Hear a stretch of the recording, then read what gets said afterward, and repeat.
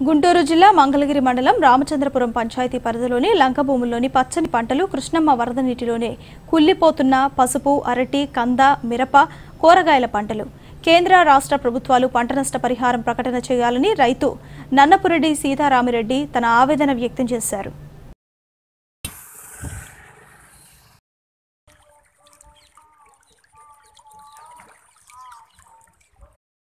పాస్బుక్లు ఎన్ని ఉన్నాయి? టీసీలకి ఏమి ఇలా పాపం ఎక్కువగా ఇవన్నీ చెక్ పెట్టేయాలి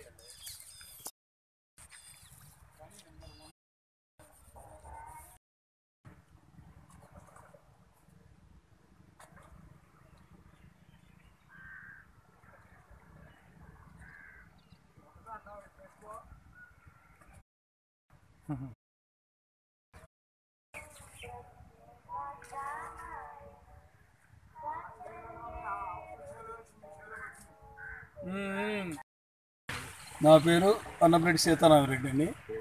రామచంద్రపురం మంగళగిరి మండలం గుంటూరు జిల్లా ఆంధ్రప్రదేశ్.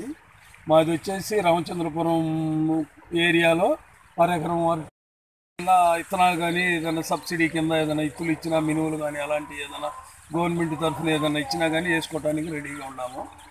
కాదంటే మరి ఆధార్ కార్డులు ఫోటో స్టాట్లు పాస్బుక్లు తీసుకుని ఏదైనా పొలం నష్టం కింద పంట నష్టం ఏదైనా ఇస్తారేమో స్టేట్ గవర్నమెంట్ కానీ సెంట్రల్ గవర్నమెంట్ కానీ ఏదైనా సహకరిస్తే మేము పెట్టుబడి పెట్టుకుని మళ్ళీ వ్యవసాయానికి నెలాఖరికి రెడీ అవుతామని కోరుకుంటున్నాము వచ్చి ఒక ఇరవై వేలు పెట్టామండి.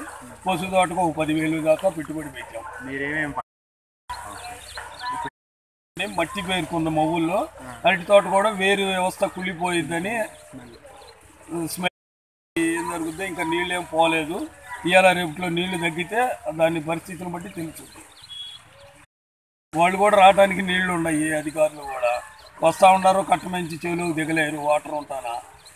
ఎమ్మెల్యే గారు వచ్చారు బాపట్ల ఎంపీ గారు వచ్చారు అన్ని ఫోటోలు తీసుకుని విజిల్స్లో చూసుకుంటా ఉన్నారు.